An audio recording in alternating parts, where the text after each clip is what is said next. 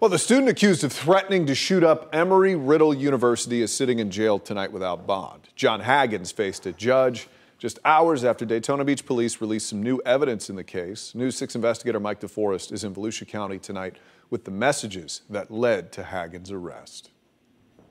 John Haggins will remain locked up here at the Volusia County Jail at least until next week without bond. Tonight, for the first time, we are seeing the Snapchat messages that he allegedly sent a fellow student just hours before his arrest. Just one day after police say John Haggins was planning a quote Columbine type shooting at Embry Riddle Aeronautical University, the 19 year old student was ushered into a courtroom in handcuffs. According to investigators, late Wednesday night, Haggins sent these newly released Snapchat images to a fellow student, showing off a rifle and ammunition he had just purchased hours earlier. The images were so troubling, the student reported it to campus security. As Haggins left his apartment early yesterday morning, police confronted him. Contained inside the backpack was a collapsible rifle. That's when investigators say they discovered the weapon, which Haggins reportedly purchased using the proceeds from the sale of his truck.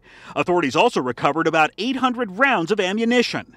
According to investigators, Haggins later confessed to telling his friend that he was going to, quote, shoot it up at Embry Riddle yesterday, just as the campus was packed with students taking their final exams. He may want to claim that it was all a joke and he wasn't serious about it, but we don't find anything funny about discussing a mass shooting on a campus. They've been advised or requested not to make any statements at this time. Haggins' family was in court for today's hearing, but declined to speak with us as they left. Next week, the teen is expected to ask a judge to release him from custody on bond. Although classes are now over for the semester, Embry Riddle is offering counseling for any students who may need it.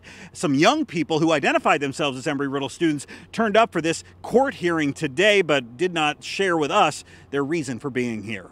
Reporting in Daytona Beach, Mike DeForest, News 6.